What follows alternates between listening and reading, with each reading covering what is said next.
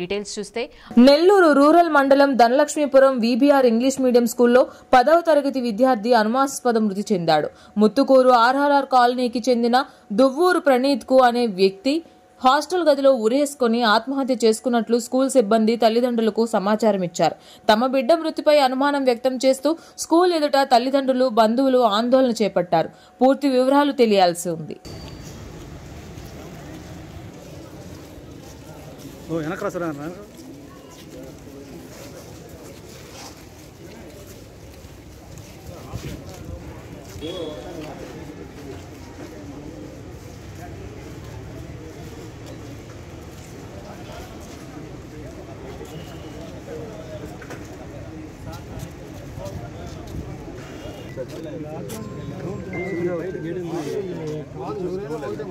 செஞ்சுக்கலாம்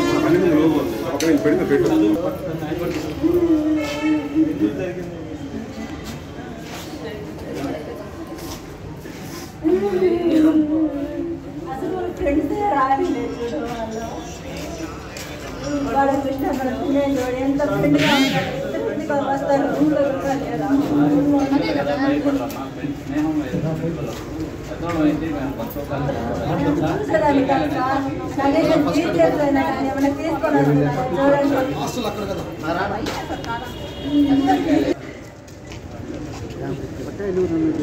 ఇప్పుడు మామూలుగా వేసుకుంటే నాది కావాలి బైక్ మనం ఏమన్నా చెప్పు మొదలు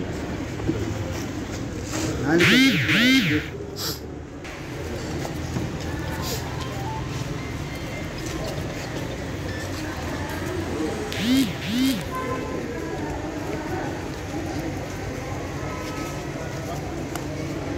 结是。